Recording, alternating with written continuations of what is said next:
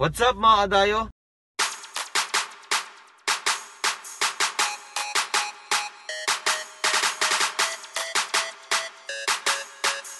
Simulan ng kwento ng pagaling na manlalaro Kailangan na ang basketball, hindi mo pagkatalo Ang husay sa paglalaro ay hindi itinatago. Sa pasmong nakabataan nila to itinuturo. Sipag at tiyaga, determinasyon ng kailangan. Wala nang uurungan pagdating sa pasiklaban. Bola ang sandata, ituturing na pamilya. Hanga karamihan, inspirasyon ng kabataan. Panlalig sa taas, ang sikreto at lakas. Dito sa cutting edge, hilahan ka pataas make it burn. I'ma, I'ma make it burn. I'ma make it burn. I'ma, I'ma make it burn. I'ma make it burn. I'ma, I'ma make it burn.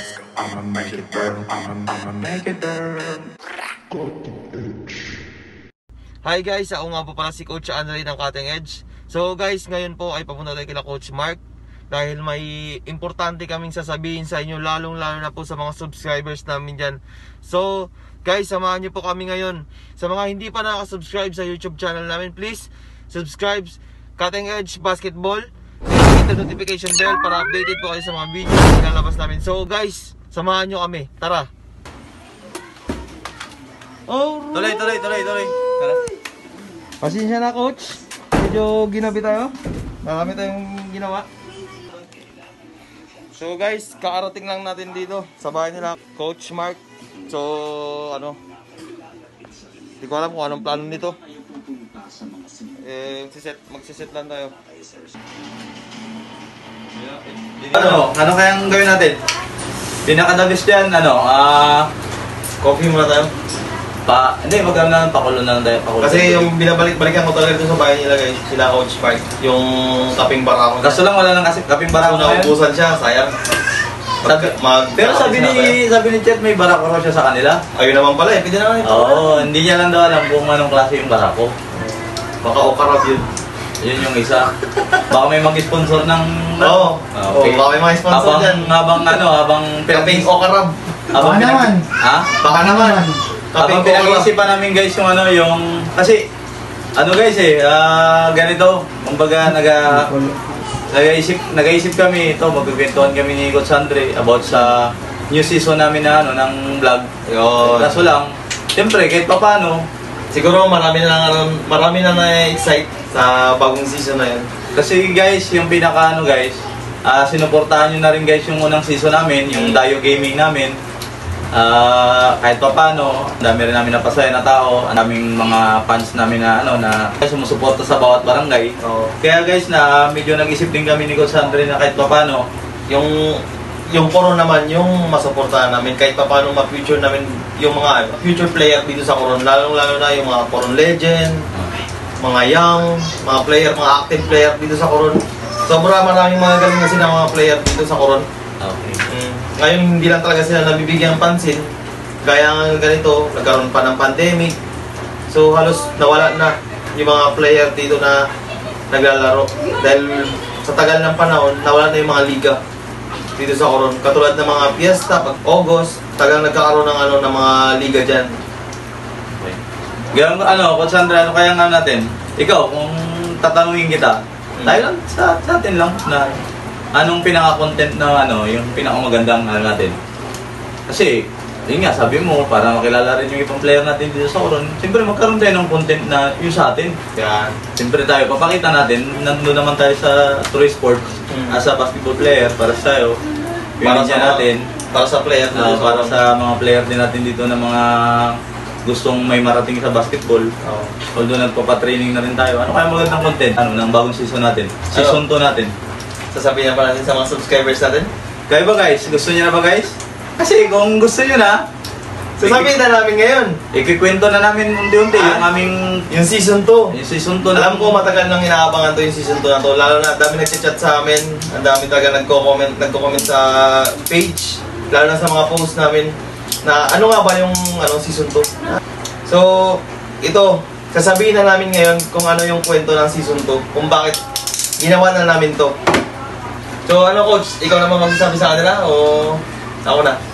Anong gusto mo? Ako magkwento, ikaw magsagot, or ikaw magkwento, ako Siguro mas magsagot? mag... Siyempre, ano, ako, ano eh, young. Baka sabi mo, "Ay, oh, yan na naman ang problema Sa kanya? Oo. Bit, siya ang veterano eh. Yun. Kumbaga mas may idea siya sa mga Pwede, pwede mo naman sabihin na lang na, Coach, pwede ba ikaw na lang magkwento? Ay, bakit di namin pa yung edad? Sabihin mo na sa kanila kung ano yung season 2 natin. Okay, guys. Ito po guys, sa lahat ng subscriber namin, sa lahat ng followers po namin, ah ito po yung bagong vlog namin is yung season 2 ng. Cutting Edge Basketball Training Camp is ang title po namin is Quintong Bola ng, ng Coronians. Yan. Yung po, yung, na, yung po yung nausap, na, na, napag-usapan namin ni Coach Sandre na content. Kumbaga nagtanong din po kami sa mga, siyempre sa mga veteranong player dito, kung paano ba, paano ba makikilala yung mga ano, mga player dito sa sa Coron. Sa Coron. Kasi kung tutuusin guys, kami dinadayo kami guys ng ano, ng mga sikat na mga import, mga negro na yan. Oo. Marami, marami, marami kami nakakalaban na ganun. Alos kami ni Coach Mark, nagsabay na po kami na ano na naglaro ng open. So mga nakakasama, nakakala, nakakasama namin nakalaro dyan, ito sila Ola, uh, Adyugon, Oo. sila Remark na Matias, sila Sanjo, tapos Yes. sila sino pa ba mga kasama natin? Lusdok. Yung Oo. pari ng Ligan Labas, sabi nga nila, si Ferdinand Lusdok. So marami pa sila, Iloca na Henry, si Taylor Ah, Statham. yun, tama. Yan, yung Isa sa- next player dito. Oo, tsaka isa sa ano, magaling din talaga na player si So, ano, Taylor yan, halos, State. yan po halos ang nakakalaro namin dito sa Coron. Kaya Marami rin. Yung opportunity ng mga local players dito, ipapakita namin sa inyo. Dahil alam po namin na maraming magagaling na player dito sa Coron na sa, hindi na nakikita ng ibang ano tao, lalo na sa mga syudad, sa Manila. Halos hindi na feature yung mga player dito sa Coron. Yun, isa-isa namin yung guys, yung Yun. mga talagang ano rin, ah, veterano rin dito sa Coron pagdating Ah. sa basketball na nakakalaban ng mga ah, mga sikat din sa Manila na mga ano na mga player.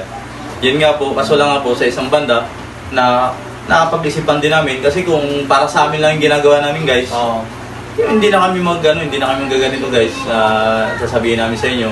Kasi kumbaga guys, mag-interview kami ng mga mga legend, yung active player, pati young player na Oo. ano na basketball player dito sa Coron. Bali, may mga question lang kami paunti-unti Oo. yung sa kanila. Makilala nyo sila. Oo, about Makilala sa about sa history ng basketball sa Coron kung bakit may ilan na umaangat. sila. Oo. Ito si Coach Andre nga, ano eh, parang ano ko rin eh. Parang gusto niyang makasama rin sa, siyempre, yung pangarap niya sa pro. Kasi yung Oo. edad ni Coach Andre, siya kasi ka- yung katay up ko ngayon dito sa ano sa pagbablog, siya rin na nagano sa akin na siya yung pina- parang pinaka-director. Kumbaga ako yung coach niya sa basketball. Siya naman yung director ko sa ano sa pagbablog. Yun yung isa. Kaya lagi ko rin siya tinatanong na kung anong ano yung pangarap niya sana sa ano sa ano niya basketball career niya. Yun nga gusto niya rin sana makaabot ng pro. Ayun din yung sa mga iba diyan na ano na pag nakita niyo yung kasi si Coach Andre tsaka ako kumbaga ikikwento rin namin yung about namin sa basketball yung siyempre kami yung pinakalas. Siyempre dalawa kami nag-content. Kami yung pinakalas. Bukod pa dun sa mga interview namin na na mga player dito sa Coron, mga star namin sa Coron. Kasi guys, kung titignan nyo guys kung gaano kagaling yung mga player dito sa Coron, talagang napaka Sobra. paanga ka. Yung Coliseum pa namin guys, halos mapuno po yan pag may mga import din. Lalo na pag may mga import, pag sibal. Apo. Kaya lang yan, ano na mga ibang player yan doon na nag-i-import dito sa Coron. Pag December, Invitational po kasi siya. Invitational league yan. Pero mga ano, may import, parang dalawang import lang ang nilalagay nila sa bawat team. Inaalaw nila na maglaro. So yan, marami na halos kami nakakalaro ng mga, ng mga import. So isang privilege din yun, lalo lalo na sa mga lokal dito, na makasama yung mga pro league. Yung guys, at ano rin guys, ah wag nyo rin guys kalimutan kung mapanood nyo guys yung ano namin, yung ito, yung bagong vlog namin na to, lumabas na dito sa sa inyong notification, makita nyo guys, madaanan nyo guys. Mag-comment lang kayo guys kung ano para kung paano namin maumpisahan yung season namin. Kasi sa comment ninyo, Diyan din kami nagbabase. okay, ganun po. Pero po, may mga naka ano na rin po kami. Oo, mga nakala- Andre, may nakalista na rin kami nila Coach Andre na. So, sa Coron, abangan nyo po kung sino yung mga player na pupuntahan namin at i-future namin dito sa, sa cutting edge basketball. Lalong lalo na yung mga player na makakalaro namin, kung sino ba sila at yung mga Coron legend. Alam ko po dito sa Coron maraming legend na mga player dito. May muntik naman PBA. Apo. Oo. alam nyo, isang privilege po na ipakita dito sa ano, pag-vlog Sa channel namin, sa channel channel namin sa Cutting Edge. na ipakita yung mga galing ng taga Coron. So, abangan nyo yan guys. Kumbaga guys, kami guys, kahit, kahit kami ngayon, sa sarili namin guys, ah, na-excite, na-excite na kami. Sobra. Kumbaga, Kahit ako coach, yung yung plano namin lagi, araw-araw, magka-chat kami ni Gonzandre, tinatawagan ko siya kung paano namin umpisan kasi yung ibang video pa kasi namin, kumbaga may lalabas pa kami ng mga vlog pa namin na iba. oh, Kaya ito Bago yung ito yung ito nga umpisa namin yung ba- panibagong season ng ano ng ng kwentong bola ng Coronians. Kumbaga kami sa, sa amin lang eh, sa amin lang. Kumbaga pag tinatanong ako ni Coach Andre nagkukwento kami siyempre yung pangarap. Kumbaga akin, yung pangarap ko is yung para sa future na lang ng kabataan dito sa Coron. Yun yung isa. As, May naglabas na po ng lang merienda. po, Saglit lang po, guys. Ah, may merienda na kami. Pag gusto, gusto nyo ba makita, merienda namin? eh, pakita mo, Coach Andre, saglit. May nagano. Okay. ano ba to? Chicken nuggets, tsaka Chicken popcorn. Tuloy mo lang. Yan. Ito po guys. Pero nakakain na po kami. Sila na lang po kakain yung kasama po namin. Di, ilalagay namin dito. Huwag naman. Yan. Yan man. So, tingnan na. Salam. Yan. Hmm, Wait lang. Babalik ko lang to Babalik lang namin. Chat. Okay. Masarap yan. Yun lang guys. ah cheese. ngayon po, ah yung idea na po ng pag-uumpisaan, ito po yung nabuo po namin.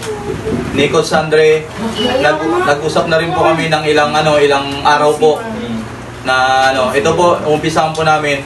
Yung first interview po namin is ano po, legend po yung umpisahan namin. Coron legend. Isang Coron legend. Kumbaga, yung history ng basketball is ano niya, kahit pa paano, alam niya kung ano yung kalakaran, simula ng may mga... Basta guys, ketchup pa ba tayo? ah may excite kayo guys sa ikikwento niya. Pag nakita niyo guys yung interview namin sa kanya, may excite kayo. Kasi kahit kami, Na-excite yung mga kami. dating, ano, dating Oo. player, Lalo na ako, coach. Siyempre, bata pa ako, halos hindi ko naabutan yung mga, ano, yung mga kwento ng magulang namin na may mga galing na player dito sa Coron. Yung inaabutan ko, kwento na lang eh. Yung laro, wala na. Ang naabutan kong laro ngayon, highlights na eh. Mm. Crossover, mga ganyan-ganyan. Yun lang po ang naabutan ko, pero yung mga dating laro, hindi ko na po naabutan. Kaya, ako, naisip namin yung content na to, yung bagong season ng Cutting Edge, kwentong bola ng Coronians, sobrang na-excite ako guys. Alos minsan nga, nag kinokontak ko si coach, hindi na ako makatulong. Kasi gusto Tas, namin gawin sa barako akin. yun, dahil sa barako. Oo. Guys, dahil sa barako, barako kami. Gusto na, gusto na namin, gusto, gusto na namin gawin eh. Para ipakita sa inyo. So, ito na po, sa, lalo na sa lahat ng taga-Coron, sobra, may excite kayo dito. Dahil iba-ibang player ang mga kikita nyo dito sa, lalo na dito sa Coron. Ah, yun lang. Yun po yung sa amin. Ah, ito po, ah, sana po, ah, suportahan niyo po yung aming pong pangarap sa bayan ng Coron. Mag-start po sa sa ano po sa Coronians na magkaisa po tayo na tulungan niyo po yung Tulungan din po. yung ito po yung yung kwento po namin na ito.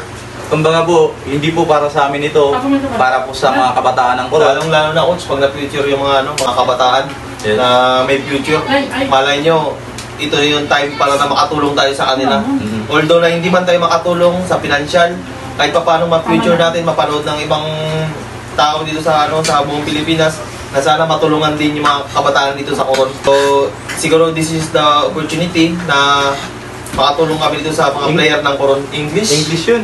Pambira yan. Mabitaw ko. Guys, pasensya. Oo, oo, oo. Yung English ko na yun, nadukot ko pa po sa ano, talam, talampakan. Kasi po, bihira po kayo magkwento Oo. na may English. Gusto namin yung ano, yung Tagalog lang talaga. Kasi ako, ang pinaka gusto namin po dito, ah yung ano po, yung 1v1 tsaka 3x3 po Yan. ng ano. Tapos 1v1 challenge Boss namin. Andre, meron pa pala akong isang ano, suggestion din. Alimbawa natapos natin yung pinaka tatlong na interview natin, another set na tatlo. Mm. Mag-interview rin po kami ng ano ng referee. Yan. Para po pag pag pinag-friendship game po namin sila, makikita nyo rin po yung referee na gusto ninyo na nandoon din po sa ano sa sa content po namin, sasama namin po yung officiating, siyempre po. Hindi naman po mabuo po yung laro kung wala pong officiating, na Officiating. nangyayari po. Yun po yung na idea po namin. Tsaka abangan nyo po. Ah, Coach Andre, ah, invite mo sila na ano. So, guys, lalong-lalo na sa lahat ng taga-Oron, malay nyo, isa sa kamag-anak nyo na player, mapifuture dito sa vlog namin. So, abangan nyo po yan guys. So, yung mga 1v1 challenge, 2v2, 3x3. so 3x3, abangan nyo po, ilalabas po namin dito. After namin ma-interview lahat ng mga players, so abangan nyo po dahil ito po yung kwento talaga ng Coron. Basta buong itong linggo na to, guys. Ma maki malalaman nyo na yung ano, yung unang ipipicture namin na Yeah. basketball player. Isa po siyang legend muna ang Legend. aming ano. Coron legend. Coron legend siya. Ah, kumbaga hindi namin alam kung ano yung kikwento niya sa amin. Kumbaga, kung ma-encourage kami o ma-discourage kami, pero Oo. tingin ko naman siguro, ma-encourage kami sa Pero ako, ano eh, ikikwento niya sa atin. Coach Andre. Hindi ko na sasabihin sa kanila kung sino yung si- ano eh, unang player na Oo, tama, tama. Kasi para kasi pag sinabi natin, Oo. ah, May idea na sila May, eh. may idea na kayo kung So, ano yung ano niya. dapat manood sila. Ah, dapat dapat. natin. Umpisahan nyo simula sa ito sa aming pag-invite sa inyo na panoorin nyo yung aming bagong content, bagong season namin ng Cutting Edge. Ah, subaybayan nyo po hanggang sa dulo po, hanggang sa dulo. Mm. Ha? Kumbaga po yung yung panonood nyo isang malaking tulong na po sa kabataan ng. Coron. Yun lang So po guys, abangan nyo ang season 2 Okay guys, Cutting Edge.